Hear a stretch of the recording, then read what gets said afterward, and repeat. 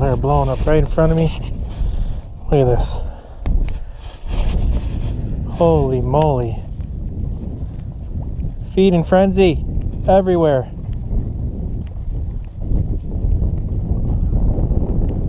Oh my god, they're everywhere.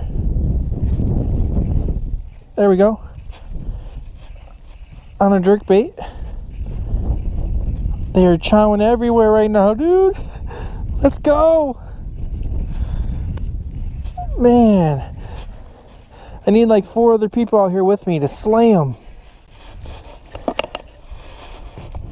Let me tell you what. They're piggies, dude. this is on a Berkley cutter, I believe this is. Yeah.